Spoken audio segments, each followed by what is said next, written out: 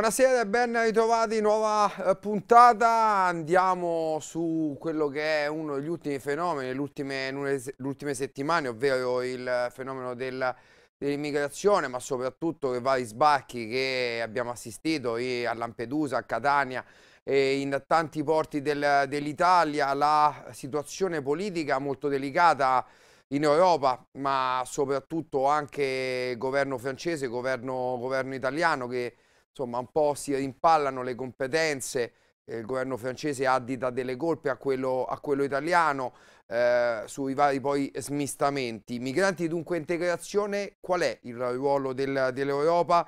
Eh, è un fenomeno epocale, un fenomeno che è sempre esistito, ma in alcuni periodi dell'anno torna in maniera eh, prepotente, eh, appunto, e non è solo un discorso italiano, non è solo un discorso nostro che siamo eh, di, Italia, siamo il primo paese eh, praticamente dal Nord Africa o da altre, o da altre zone. Eh, molto spesso queste persone usano l'Italia anche come mezzo per andare da, da altre parti. È un problema comune, è un discorso allargato sicuramente europeo e poche ore fa è la denuncia penale presentata dall'AIA del Centro Europeo per i diritti costituzionali umani che accusa i politici di aver commesso crimini internazionali tra il 2018 e il 2021 intercettando anche barche nel Mediterraneo e rimandando i rifugiati nei campi di prigionia eh, dalla, dalla, Libia. Il governo italiano è cambiato da, da poco, eh, ha parlato molto anche di,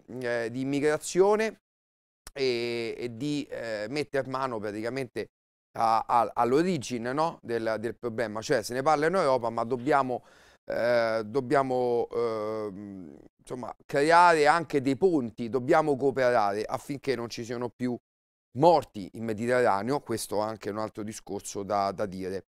E, e, ne parliamo insieme a tanti ospiti, insomma, emeriti. Io saluto e ringrazio qui presente con me Andrea Natalini, esperto di geopolitica. Salve, buonasera. Buonasera e buonasera anche a Carlo Giovannardi, ex senatore e politico dei Popolari Liberali. Grazie per aver accettato di nuovo il nostro invito. Grazie a voi. E allora, eh, Giovanardi è uno dei problemi che riguarda appunto i migranti e l'integrazione eh, verso la società d'arrivo. Secondo lei quale potrebbe essere anche il modello più adatto per garantire un processo di integrazione efficace? Allora, se mi permetti vorrei fare in questo intervento una diagnosi, poi parliamo delle terapie, perché sì. il problema dell'immigrazione è da 2000 anni che è d'attualità, 2000 anni. Pensa che quando i Goti entrarono a Roma, saccheggiarono i quartieri dove adesso c'è la Suburra e Via dei Serpenti, perché non saccheggiarono la Suburra, ma i quartieri romani, perché la, la, la parte della Roma popolare già era nei primi secoli abitata da gente che veniva dall'Africa, dalla Germania, dalla Romania, cioè non erano romani, erano emigrati. I Longobardi, quando sono arrivati qua e hanno occupato la Lombardia, erano il popolo barbaro più, che gli altri consideravano il più selvaggio e più incivile che fosse mai arrivato in Italia. Si sono trasformati nei Lombardi di oggi, i Longobardi. Poi eh, ci sono stati secoli, diciamo, bui in cui l'Italia è rimasta isolata. Questi fenomeni, salvo gli arabi che hanno preso metà dell'Italia alla fine degli anni 1000, Bari è stato un califato per, per quasi 80 anni, il fenomeno si è riproposto in, negli ultimi anni in maniera eh, così veloce perché essendo cambiate le condizioni, anche quelle de- della possibilità di viaggiare, abbiamo oggi una realtà nella quale abbiamo un miliardo di persone in Africa, un miliardo, e abbiamo in Europa, soprattutto in Italia, un calo demografico che ci porta, avete visto le proiezioni, da 60 milioni a pagare a 40 milioni di abitanti nei prossimi anni. In sostanza, se noi facciamo la fotografia dell'Inghilterra, della Francia, degli altri paesi europei, non parliamo degli Stati Uniti, chi va a Londra, chi va a Parigi, va in realtà assolutamente dal punto di vista eh, razziale di melting pot, perché quei paesi funzionano attraverso un meccanismo di emigrazione che è venuta dalle colonie, che è venuta dai possedimenti e comunque convivono con grande difficoltà eh, con questa realtà. Noi siamo partiti in, re- in ritardo ma abbiamo a che fare con lo stesso fenomeno. Ora concludo la diagnosi. Non possiamo piegare tutta l'Africa, perché un miliardo di persone in Italia e in Europa non ci stanno. Del resto non possiamo neanche dire chiudiamo tutto perché non esiste chiudiamo tutto perché sono i nostri imprenditori, sono le nostre famiglie, sono le nostre imprese a chiedere manodopera e a chiedere migranti. Poi se facciamo la foto delle scuole italiane di oggi, di adesso mentre parlo, a Modena, a Roma, al sud, vediamo che nelle classi elementari e nelle classi medie, metà dei bambini, in certe zone anche di più, vengono da tutto il mondo, da 102 etnie diverse che oggi risiedono in Italia. Quindi questa è la fotografia della situazione certo. e, chi, e fa demagogia che la vuole negare. Il problema è come governare questo fenomeno. Allora, si sono attaccate spesso le, le ONG, addirittura Salvini ha un processo in corso ehm, diversi anni fa. Allora, eh, queste organizzazioni non governative, è possibile secondo lei in un'ottica, diciamo, futura, mettersi a tavolino e poterle integrare eh, con le attività umane ehm, e anche eh, di, di quelle governative ufficiali, cioè quelle ovviamente degli stati? Allora, questo fenomeno va governato, a mio avviso, intanto con l'integrazione di chi viene. Perché non è che alla gente diano fastidio le badanti o i braccianti agricoli nel Veneto che stanno nelle stalle, alla gente dà fastidio eh, sacche di povertà, di emarginazione, qualche volta di delinquenza, di disperati che vengono qua e non avendo lavoro e non sapendo come sbarcare il lunario, vengono anche sfruttati dalla criminalità organizzata. Quindi il primo problema non sono le chiacchiere sono politiche serie di integrazione di queste persone e delle loro famiglie. Il che è possibile soltanto se il numero di quelli che vengono qua sia un numero sopportabile e integrabile. Si può integrare un milione di persone, due milioni di persone, tre milioni di persone in un po' di tempo. Non si possono integrare evidentemente 50 milioni di persone perché eh, negli Stati Uniti, quando gli italiani andarono là, diventarono cittadini degli Stati Uniti e nel 1943, quando sbarcarono in Sicilia, gli italoamericani ci mettevano la mano sul cuore e, e combattevano per le stelle strisce. C'erano in, integrati talmente che vari Frank Sinatra, Perry Como parlavano solo inglese, non parlavano neanche più italiano, anche se le loro famiglie erano nate da 50 anni prima. Certo. Quindi c'è anche un, un problema identitario di dire chi viene qua non solo viene in Italia, dovrebbe sentirsi italiano, intestarsi la nostra storia, la nostra cultura, la nostra civiltà, se volete rispettare anzi assolutamente la nostra tradizione cristiana. E questo è un lavoro che prescinde dal fatto che ci sia uno sbarco più, uno sbarco in meno. Dal, dal punto di vista dello sbarco di più e dello sbarco in meno, aveva perfettamente ragione Minniti che finché non ci si mette d'accordo con gli stati africani, con la Libia e con gli stati frontalieri, il fenomeno rimane comunque sempre fuori controllo. Perché quando le navi affondano, eh, la legge del mare impone di salvarli e di portarli in Italia. Sì, sì, sì, Quindi ci sono una serie di polemiche che sono ripetitive, qualunque governo arrivi, anche questo. Sul governo, aspetta, aspetti un attimo, voglio, perché ci voglio tornare un attimo, una domanda su lei, sul, sul, sulle leggi. Voglio capire anche in Europa come, come sta muovendo, abbiamo raccolto varie ehm, testimonianze, cominciamo da Alessandra Moretti, una parlamentare del gruppo dell'Alleanza Progressista, insomma ovviamente del PD, eh, siamo andati noi a Bruxelles a sentirla su questo tema. Ancora di questi giorni il tema dei, dei, migranti, alle cronache va lo scontro Francia-Italia ancora sulla distribuzione appunto dei stessi profughi, però insomma c'è da parlare anche del trattato di eh, Dublino e quello che va cambiato.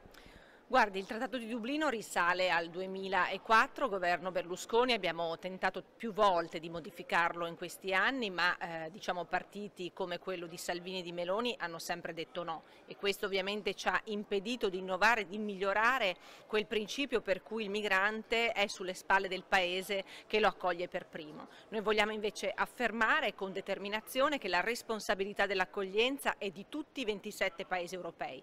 Mario Draghi a giugno aveva siglato siglato un patto con Macron che portava diciamo, ad una corresponsabilità.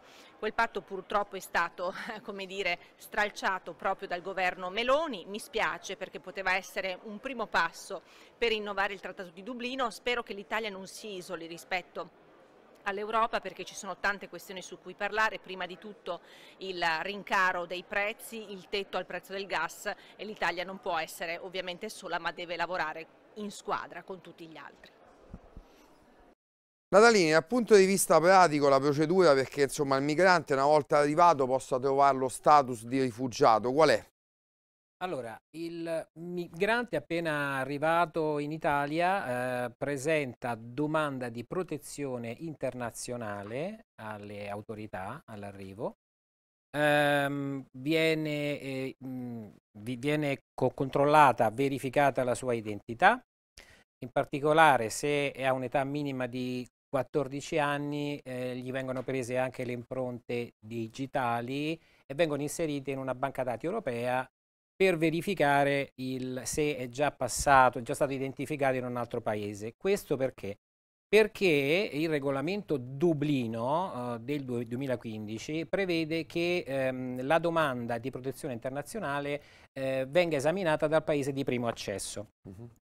E quindi se è stato già eh, identificato in un paese, ad esempio in Francia, è la Francia che dovrebbe mm. eh, esaminare eh, la domanda di protezione internazionale. Comunque una volta fatta la identificazione, la domanda viene esaminata dai eh, comitati eh, territoriali eh, che sono istituiti eh, presso le prefetture, attualmente ce ne sono 10 in Italia, eh, che esaminano la domanda, c'è una commissione che poi pro, ehm, esamina il candidato con un'intervista c'è un presidente del, mm, della commissione, c'è un rappresentante dell'Alto Commissariato dei Rifugiati delle Nazioni Unite, due rappresentanti del Ministero degli Interni, si fa un'intervista alla fine della quale eh, termina l'iter nel giro di settimane o mesi anche, mm. ahimè, eh, viene esaminata la domanda, alla fine, alla fine, di questo iter può essere eh, con, eh, dato lo, lo, status di rifugiato alla persona.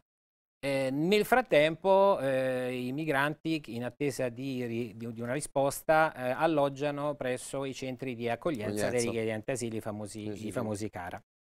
Allora, eh, Giovanardi, torniamo sul discorso politico. Ecco, bisogna ampliare eh, leggi, bisogna, bisogna insomma, eh, creare nuove nuove norme eh, oppure, oppure, basta così? Cioè, nel senso, abbiamo visto anche, non solo in Italia, anche in Europa, un rimpallo di competenze tra governo italiano e governo francese, siamo stati anche accusati.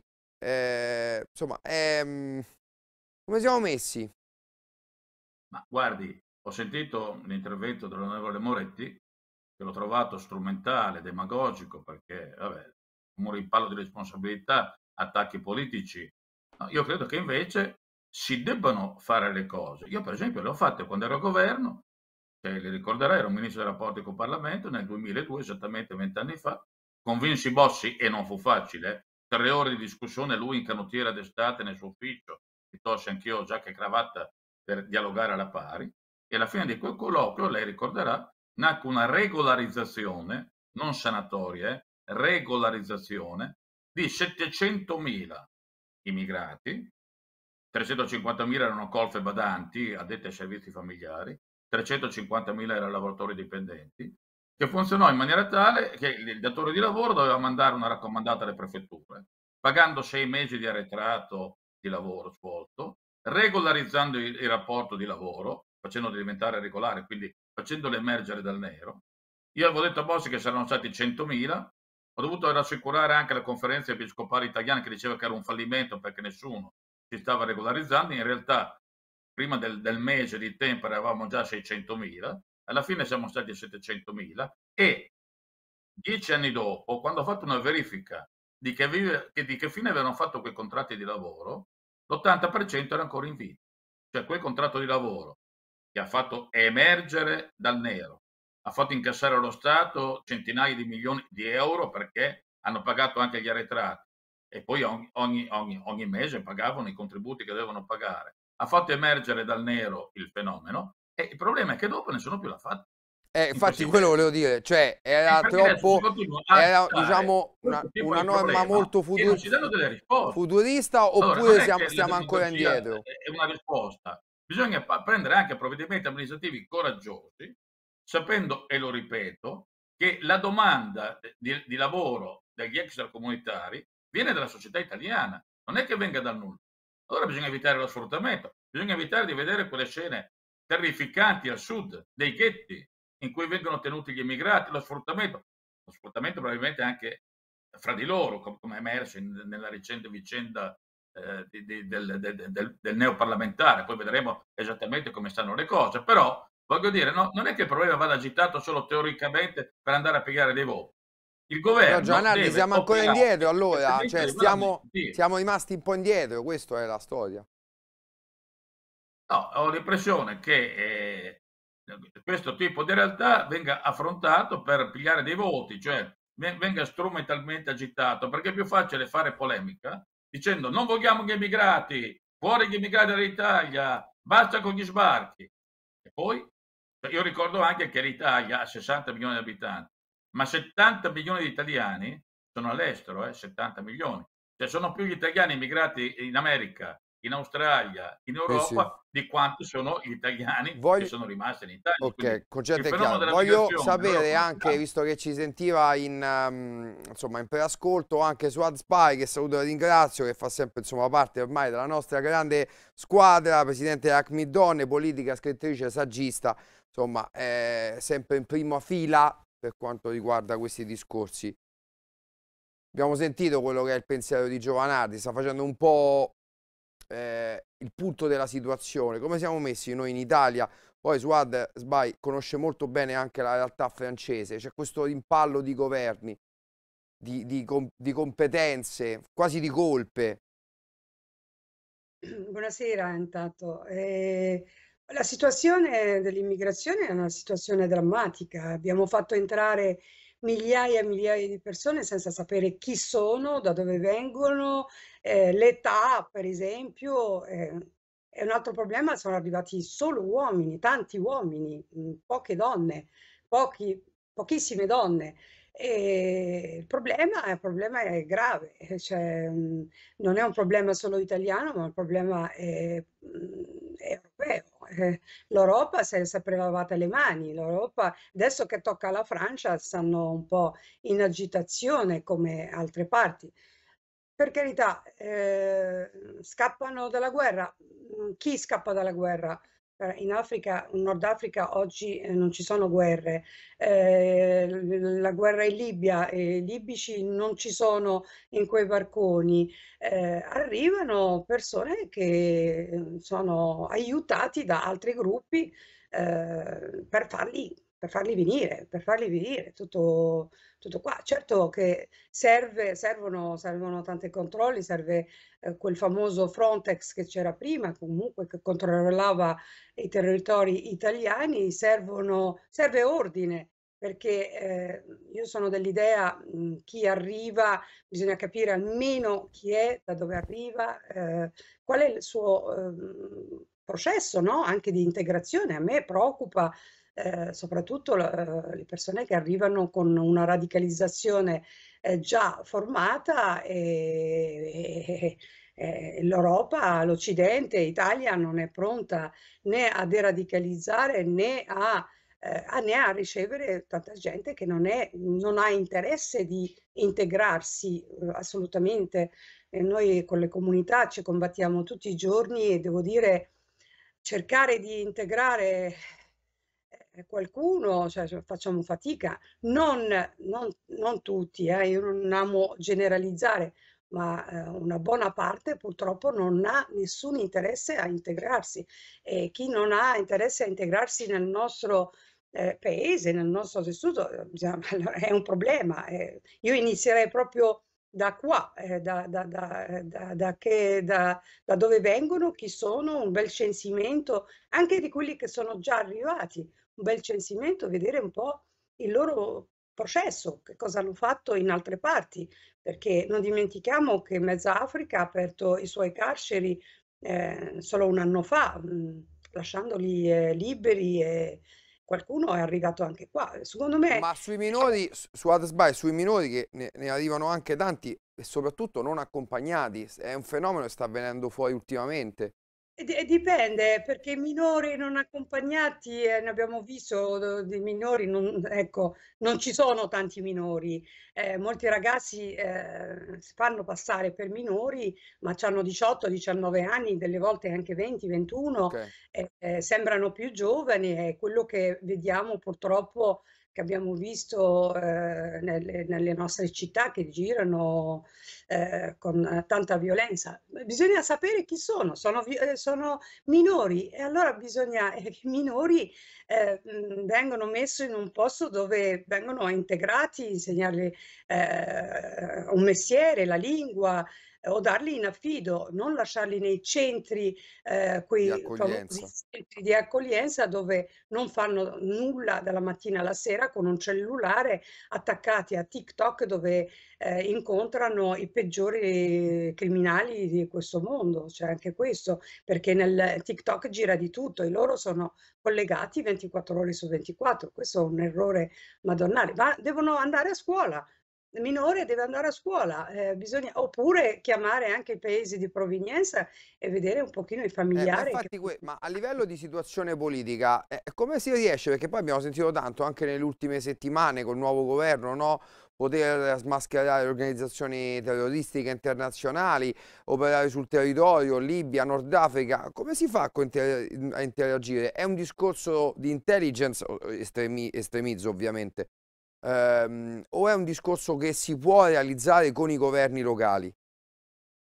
Si può organizzare con i governi locali, perché no? Perché la maggior parte arriva comunque da, dal Nord Africa, dall'Africa. Si può aprire un dialogo, purtroppo con eh, il governo 5 Stelle, con De Maio, ecco, eh, non ha aperto nessun dialogo, sono stati anni bui, eh, ma lo dicono anche i stessi paesi del Nord Africa e africani che non hanno rapporti con l'Italia, non avevano rapporti con l'Italia. Questo è stato un errore madonnale, perché avere eh, un, degli accordi con i paesi è importante, perché eh, là dove ci sono delle irregolarità bisogna eh, fare dei charter e mandare via eh, le persone. E quello che vedo anche nell'immagine, sono tanti uomini, tantissimi uomini, scappano, perfetto, uno li fa anche scendere dalla nave, benissimo, però bisogna anche vedere un attimino dove collegarli, se no anche il ritorno alla patria. Ma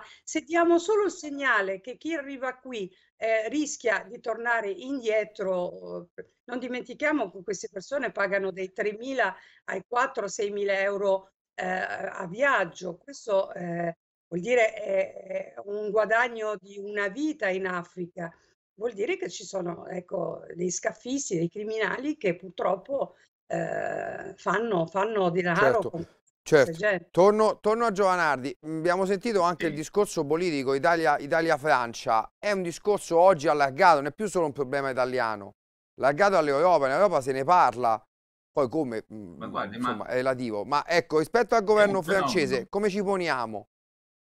Guardi, è un fenomeno mondiale, europeo ed italiano. Adesso io saluto la mia collega Swat che è l'esempio vivente, di, è qui, di una signora che viene dal Marocco, si è integrata perfettamente nel, nel nostro paese, è stata parlamentare, presidente di un'associazione, come sindaco di Londra, se non sbaglio, un extracomunitario attualmente sindaco di Londra. Se non era il nuovo leader eh, capo, il nuovo eh, eh, primo ministro inglese, anche lui è, ha origine extracomunitaria. Quindi io comincerei a dividere il, il, il problema dell'immigrazione eh, stabilendo l'alleanza fra le persone per bene, che ci sono ovunque, perché in Italia non dimentichiamo, siamo la, la, la patria dell'andrangheta, della mafia, della camorra, che ci sono ancora eh, in Italia e condizionano parte del nostro territorio del sud, quindi le persone per bene e non per bene ci sono dappertutto. E gli esempi che ho fatto, la, la, la mia collega e l'esempio dell'Inghilterra, dimostrano che l'integrazione è possibile. Poi certo, anch'io e vorrei chiedere proprio a Suad eh, come interpreta questi fenomeni quando vedo che il Marocco vince eh, sul Belgio 2-0 e in, in Belgio ci sono disordini provocati da eh, ragazzi marocchini che, che, che, vivono in Belgio, allora mm, capisco che la strada è assolutamente in salita. Ho visto il capitano della difesa della squadra marocchina che ha detto no, se sono comprati così non sono marocchini, dovrebbero avere rispetto del paese che C'è un po' bruciato Giovanardi, è un tema che volevo affrontare con Swad Sbai. Beh, lo avevo anticipato perché siamo dentro questo meccanismo dove a me che cosa fa paura? fanno paura due cose. Uno è appunto la demagogia di chi pensa di risolvere il problema dell'immigrazione con, con, delle, con delle barriere che non serviranno mai, perché signori, faccio presente che centinaia e centinaia e centinaia di persone preferiscono morire in mare annegate piuttosto che rimanere nelle condizioni in cui vivono nel loro paese. Quindi è difficile fermarli eh, con, con, misure amministrative, con blocchi navali, eccetera, eccetera. È, è, è un fenomeno che va governato. Allora, da un lato, quelli che dicono blocchiamo tutto e fanno demagogia non vanno da nessuna parte.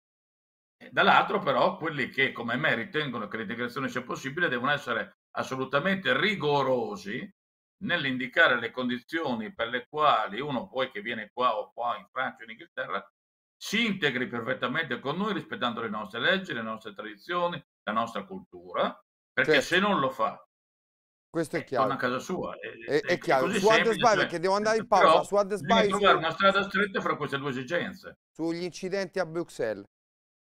Gli incidenti a Bruxelles è un segnale importantissimo perché chi è sceso in piazza a fare quel disordine sono tutti eh, tutti, eh, insomma, una delinquenza intanto, e non dimentichiamo che l'estremismo, estremis, eh, l'estremismo islamista non ha eh, gradito tanto questo, diciamo, questo, questo fenomeno nuovo de, de essere tifosi del calcio. Eh, è un tema, io lo tratterei, lo, lo, sto, lo stiamo studiando, eh, però quelli che sono scesi in piazza non, non sono né marocchini ma neanche belga, insomma, non dimentichiamo che sono della seconda, terza generazione belga, non chiamerai neanche più marocchini però sono quelli che eh, non gli piace questo, questo, questo calcio, non gli piace che la gente è molto interessata, non, non pensa all'estremismo, non pensa al radicalismo, pensa più al calcio che non sono felice e, e secondo me bisogna andare proprio sulla via dello sport, tanto sport, tanto sport perché questo eh, blocca il processo del, del jihadismo, della fratellanza musulmana che è piena in Europa e questo secondo me è importante. Eh, eh, hanno festeggiato in Marocco, non è successo niente, in Francia, in Italia hanno festeggiato e in Belgio purtroppo abbiamo un, una roccaforte del, del jihadismo da, che arriva dal Molenbeek, arrivano dalle periferie che eh, questa questione del calcio non li va giù, non li va giù e secondo me è la via giusta, ecco, da oggi in poi secondo me eh, lo sport potrebbe essere la via giusta sia per l'integrazione che Sono... anche fenomeno. Sono assolutamente d'accordo, un grande aggregatore, grande sviluppatore sociale e morale, lo sport eh, a tutto tondo, non solo il calcio. Io devo andare in pausa, quindi saluto e ringrazio ancora una volta per la partecipazione Carlo Giovanardi. Eh, grazie Giovanardi, alla prossima, buona serata. Buona serata a voi. Grazie, Suazbai rimane ancora con noi, pochi istanti e torniamo.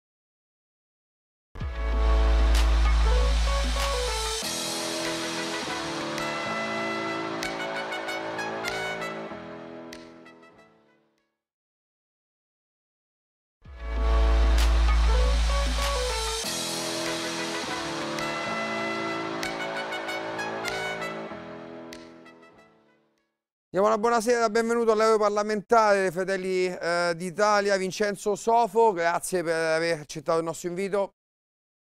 Buonasera, grazie a voi. E insomma, in Europa eh, si allarga sicuramente il discorso, non solo in Italia. Eh, volevo dire, parlare con lei, insomma, visto che ci ha sentito sul finale del blocco precedente per quanto riguarda l'ONG, che spesso sono, sono al centro di cronache, insomma, del loro ruolo nel salvataggio di migranti secondo lei esiste anche il rischio che la presenza di unità di, di salvataggio in Mediterraneo possa fungere eh, da, da, stimolo insomma, alle partenze, cioè il fatto che ci siano le ONG che comunque portano in uh, salvo i migranti?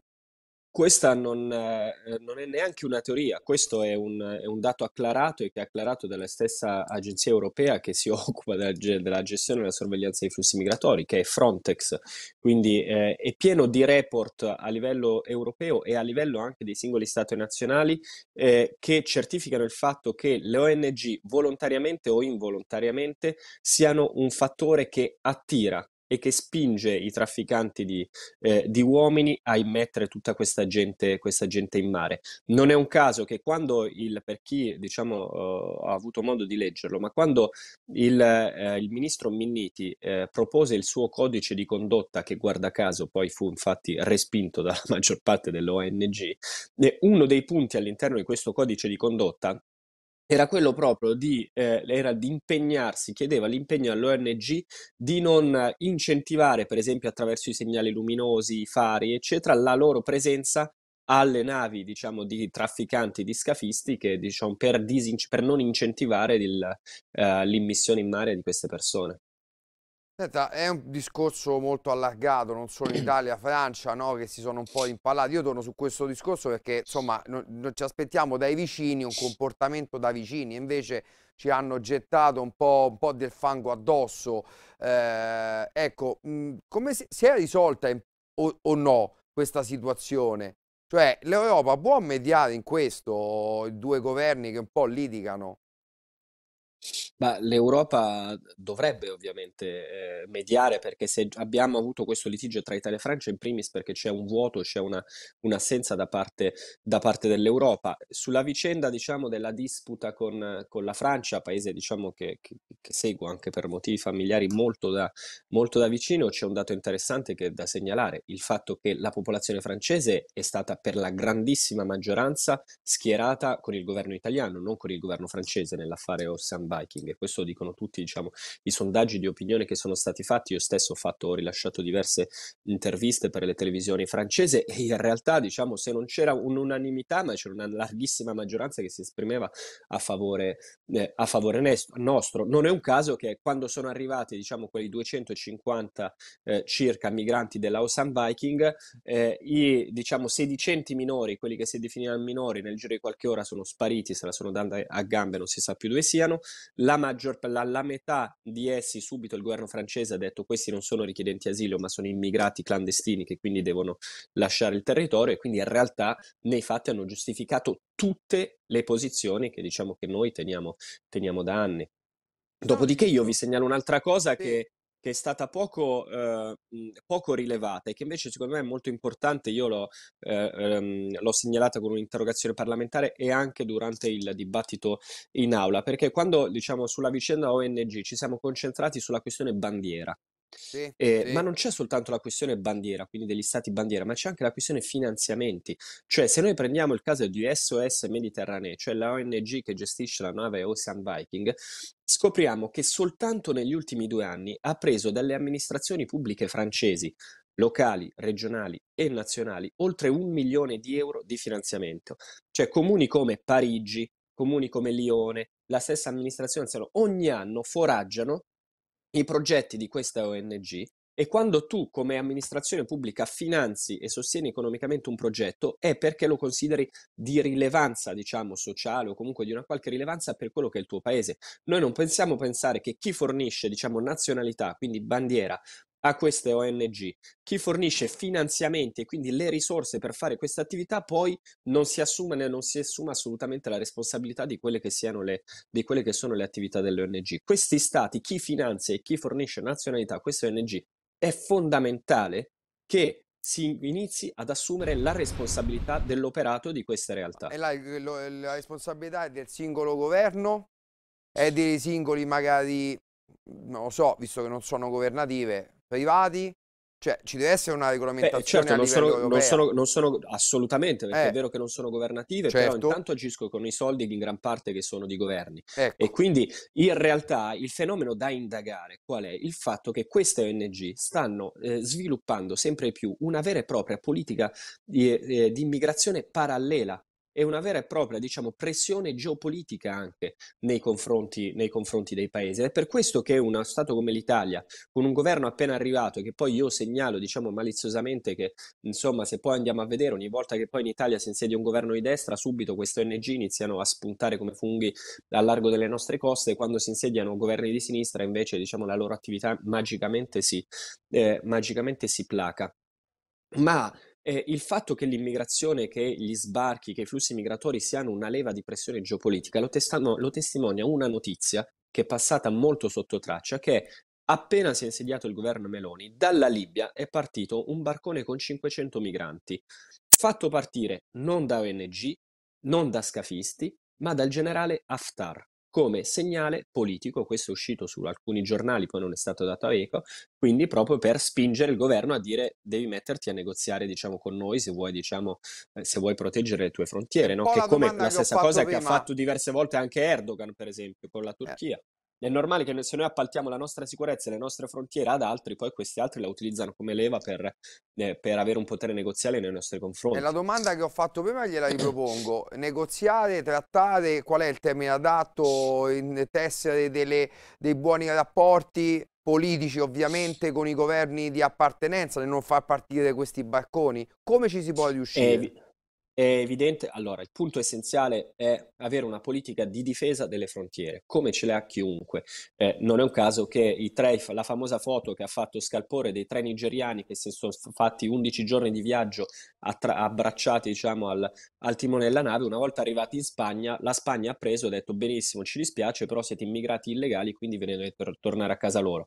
Nessuno ha fatto polemica, semplicemente perché il governo spagnolo non è di destra, ma è di sinistra, è un governo socialista. E bisogna riattivare una politica di difesa delle frontiere, perché l'integrità delle frontiere è il principio base per il rispetto anche delle regole per spingere verso un'immigrazione legale e non illegale e poi sicuramente lavorare geopoliticamente e anche con piani di sviluppo concreti, seri di quei territori per la stabilità di quelli che sono i paesi che si trovano dall'altra sponda del Mediterraneo, certo. perché gran parte delle, della, diciamo, del, eh, delle, del, delle, conseguenze no, della situazione, della crisi migratoria che noi viviamo oggi, è figlia di un, diciamo, un disastro geopolitico che è stato compiuto dal, dall'Europa e dall'Occidente nel momento in cui c'è, diciamo, c'è stato il dossier Libia e in generale delle primavere arabe. Quindi praticamente ci sono gli strumenti legislativi per rimpatriare tutte quelle persone che diciamo, non si meritano protezione internazionale o che non possono entrare in Europa o il problema è che non devono essere fatte entrare. Perché non devono essere fatte entrare? Perché io ascoltavo eh, quello che diceva Giovanardi, no? Uno sul principio può dire ok, benissimo, d'accordo, noi questi arrivano, noi vediamo chi, chi ha diritto d'asilo e lo accogliamo e, e, chi non ha diritto d'asilo invece, insomma, uh, deve tornare a casa loro oppure vogliono venire a stare qui però si devono integrare, però segnalo che A è difficilissimo perché le procedure per rimpatriare sono difficilissime e infatti sappiamo che i numeri di rimpatri sono irrisori. I ricollocamenti sono un altro bluff perché, perché non funzionano e non sono la soluzione perché non è che noi allora possiamo, con il ricollocamento noi possiamo pensare di prenderci potenzialmente 500 milioni di africani perché questa è la cifra del numero di africani che vorrebbe, secondo le inchieste, i sondaggi, venirsene in Europa, cioè quanto l'intera popolazione dell'Europa in un continente che tra l'altro nessuno lo ricorda, ma ha 100 milioni di poveri. Cioè l'Europa ha un cittadino su cinque che è in stato di povertà, cioè fatica ad arrivare a fine mese.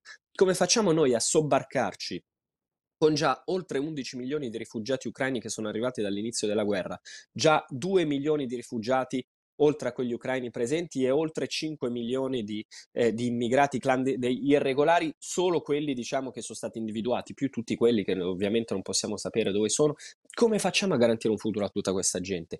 Questo è il, è il tema vero a cui la sinistra non sa rispondere. E non sa rispondere perché la verità è che la sinistra che parla di umanità tutto il tempo, ma in realtà non ha interesse a rispondere a questa cosa. L'interesse che ha è al business dell'accoglienza, come abbiamo visto col caso Sumaoro adesso, ma ancora prima col caso Mimmo Lucano, che al di là delle vicende giudiziarie segnalano una cosa, che l'accoglienza di queste persone è possibile soltanto con un modello di eh, prosciugamento delle risorse, diciamo, della comunità degli italiani, no? dello Stato, quindi con le tasse pagate agli italiani, ma non ha una sostenibilità economica e sociale. Questo è il vero punto. E basta andare, è stato citato il Belgio, Bruxelles, Molenbeek, ma quello che è successo con eh, con il, il, ehm, i disordini in seguito alla, alla partita dei mondiali.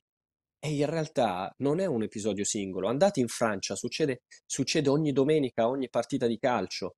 E non, io su questo infatti dissento sul fatto che sia, diciamo, in realtà perché non, non, viene apprezzato che la gente segua il calcio, in realtà viene utilizzata, se voi seguite quello che accade in Francia, dove i media non ne parlano, ma tutte settimanalmente accadono queste cose qua, ogni volta che c'è l'Algeria per esempio che gioca contro la Francia ci sono disordini, ogni volta che ci sono, che ne so, l'Olympique Marsiglia che gioca contro altre squadre ci sono disordini, ma ci sono interi territori che sono fuori dal controllo del, dello Stato, addirittura serv- gli stessi servizi francesi hanno parlato di rischio guerra civile nel caso in cui scoppia un'altra rivolta delle Balie come quella che accadde alcuni, eh, alcuni anni fa.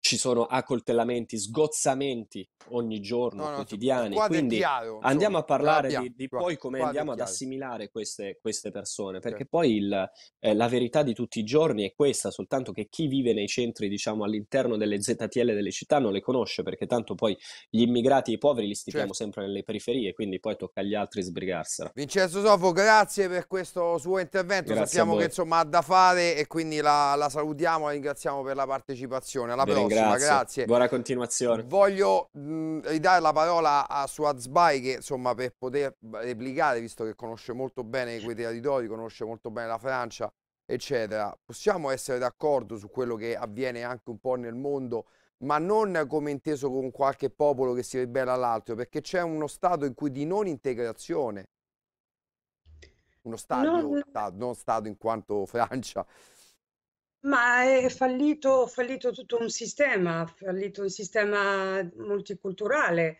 quel, mm, quello tanto caro uh, a una certa, una certa sinistra, non voglio generalizzare, però su un fatto non sarei d'accordo perché i 500 persone che sono arrivati eh, nel territorio italiano non credo che c'entri tanto Haftar, perché Haftar eh, lì in Libia, secondo me mm, c'è ancora un disordine creato comunque dalla Francia, creato da Sarkozy in poi.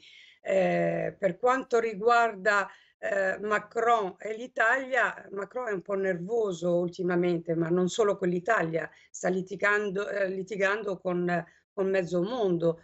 Eh, è vero che le banlieue sono ormai eh, un, un, far west, è una realtà, non è solo di oggi, è una realtà che eh, che, che, è fallito, è fallito perché ci sono come quei sussidi eh, eh, continui dalla Francia, come la locazione familiare, che ormai eh, sarebbe il reddito cittadinanza italiano, eh, che ormai eh, mantiene, una, mantiene tanta gente senza lavorare, senza avere anche un obiettivo di vita no? futura, di lavoro, di eh, c'è, c'è, stato, c'è stato non, non, solo in Francia, anche in Belgio, eh, sono situazioni molto gravi. Per quanto riguarda il calcio, io insisterei su questo punto, eh, Marocchino che va, vince va a fare disordine, anche se è vero, come diceva eh, eh, l'onorevole prima, Sofo, eh, che eh, questo succede tutti, tutti, i weekend. Sì, è vero, succede, ma come è successo in, eh, in Belgio è una, una, cosa un po' particolare che secondo me ha qualche eh, aiuto diverso da quello insomma, di, di tifoseria normale. Perciò certo, mm, no. l'immigrazione o, o, si tratta in Europa tutti quanti o non ne usciamo più perché non, non è, eh, secondo me dipende dall'Europa. Eh, L'Europa eh, deve avere un progetto, eh, un progetto per tutti i paesi europei. Eh, chi ha diritto eh, può venire in Europa, deve avere un lasciapassare europeo tranquillamente.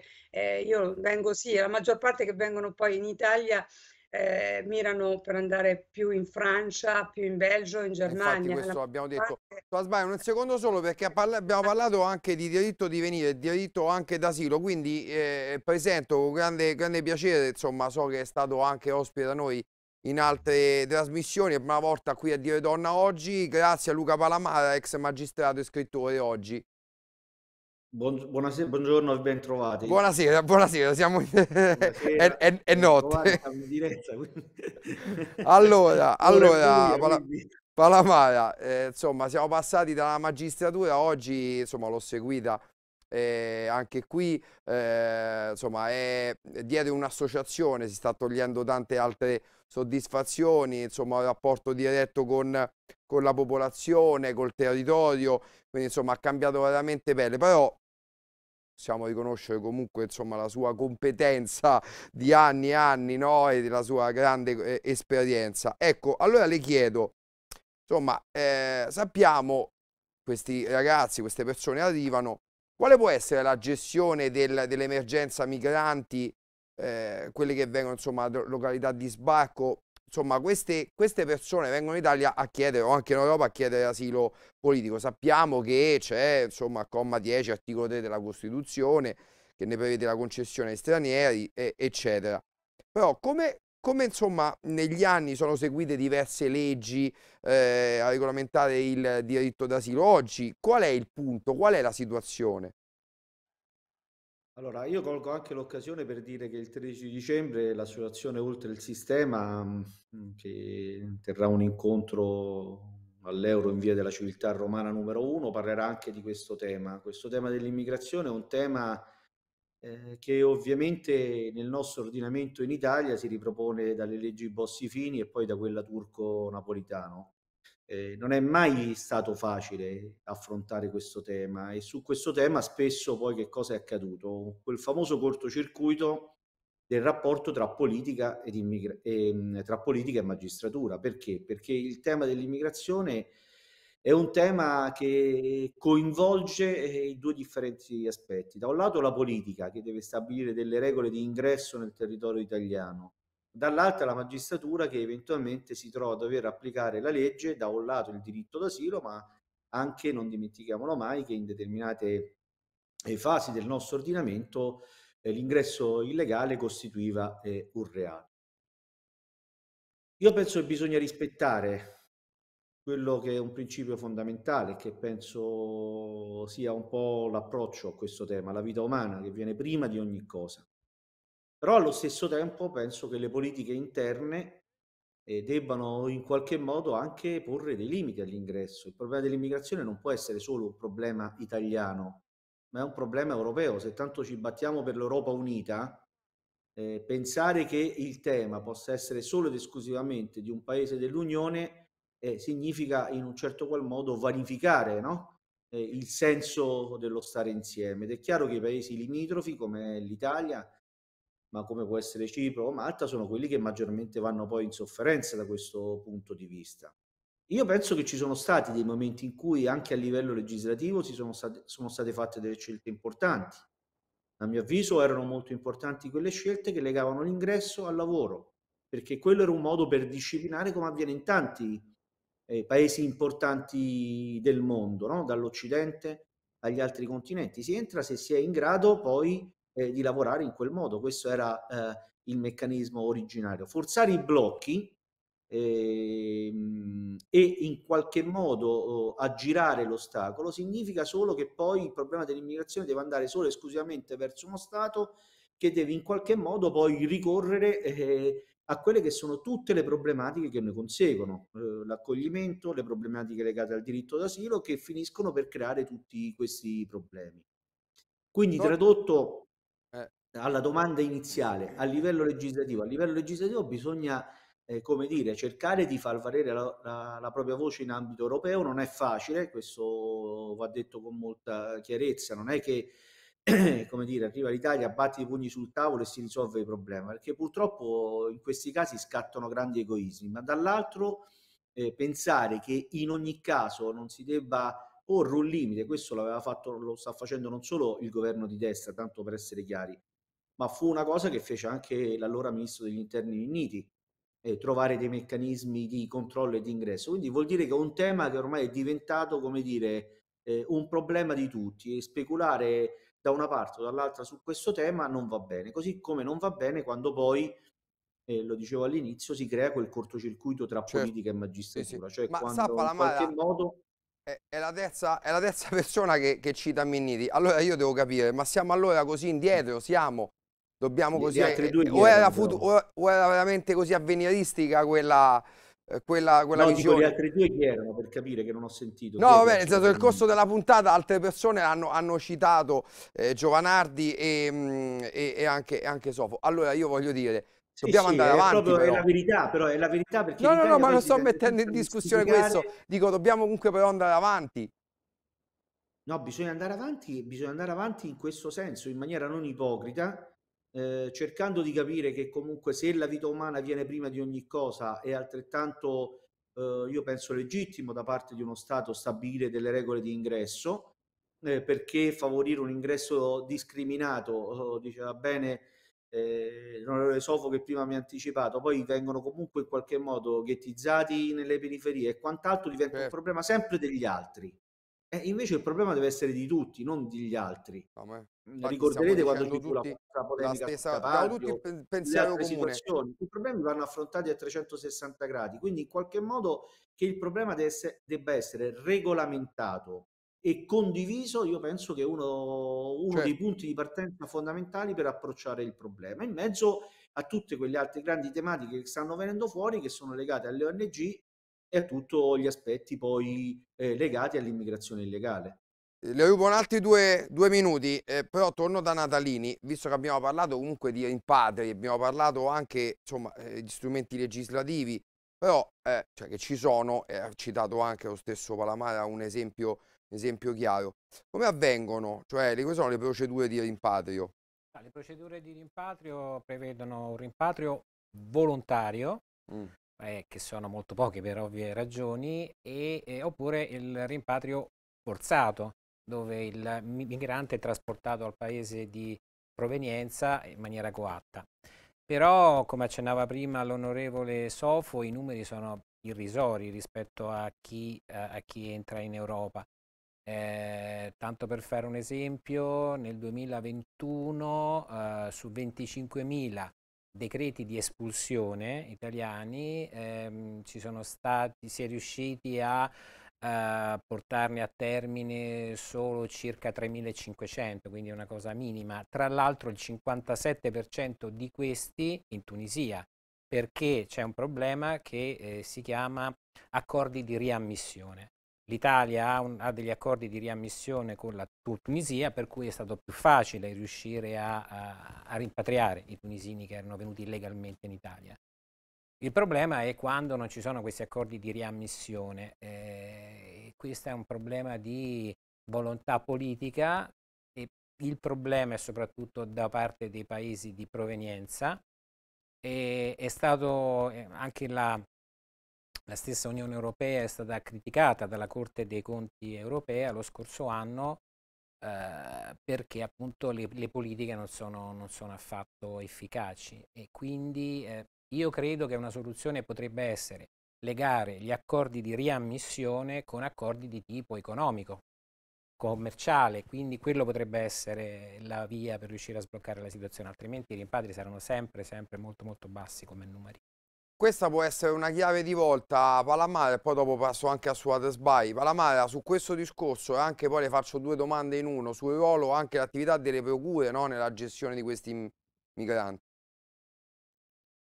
Allora, sul discorso dei rimpatri è chiaro che il problema dei rimpatri è un altro dei grandi temi che è sul tavolo e sul tappeto perché comunque le procedure di rimpatrio sono sempre abbastanza difficoltose e farraginose, vuoi per problemi legati a mezzi, vuoi per legati a problemi economici, il che poi che cosa comporta? Che il problema si riversa in ambito giudiziario, non solo sul versante delle procure, ma anche sul versante dei tribunali civili ed in particolar modo su tutte le tematiche che afferiscono al riconoscimento del diritto d'asilo che è l'altro grande tema, perché poi il riconoscimento del diritto di asilo eh, impegna a vario titolo i tribunali civili, ma soprattutto coinvolge eh, situazioni molto delicate, eh, la dimostrazione che nel territorio di appartenenza appunto la vita venga messa in pericolo e allo stesso tempo appunto la sussistenza di tutti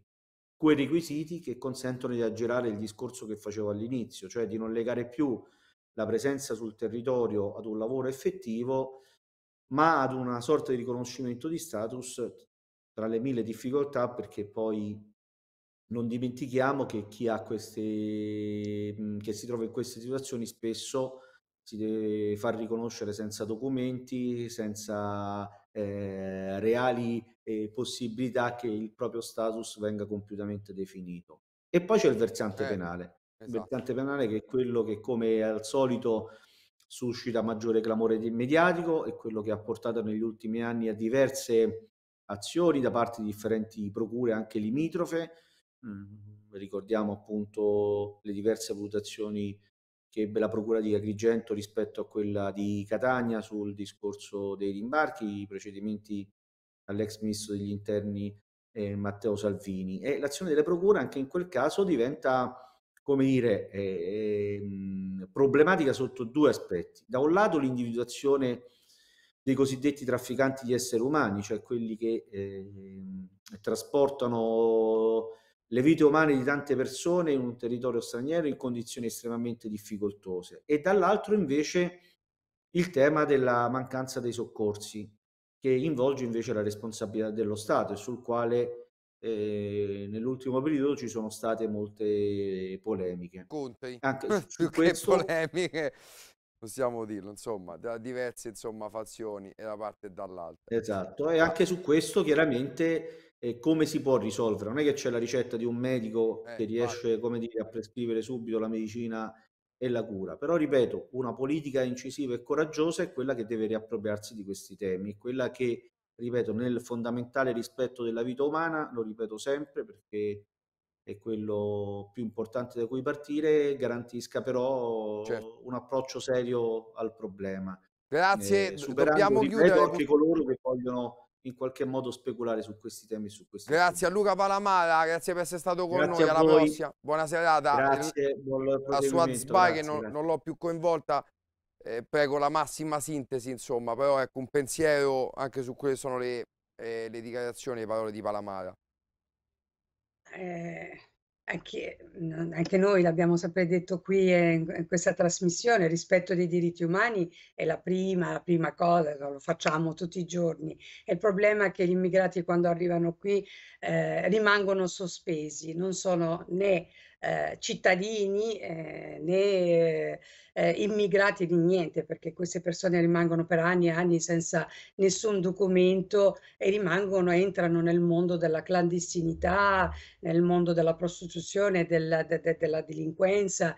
E qui secondo me bisogna eh, bisogna studiare bene, ecco, quando arrivano le persone o le accettiamo perché eh, questo paese le accetta oppure li rimanda indietro. Sono due le cose. Se le accettiamo li dobbiamo accettare in mm, una certa maniera, se non le accettiamo li mandiamo a, al loro paese è un'altra cosa. Secondo me se le accettiamo è quello che noi vediamo tutti i giorni e non, eh, eh, molta gente che sta in Italia da tanti tanti anni è quel permesso di soggiorno che non arriva mai e questo soprattutto per le donne. Grazie. E questo secondo me è un errore madornale perché Grazie poi a Suad Sbai.